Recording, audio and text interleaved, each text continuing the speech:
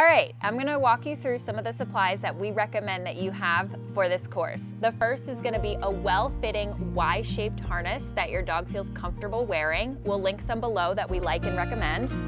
A regular flat leash. This one is six feet in length. That's the length that we recommend for this course. A clicker if you choose to use that for your marker.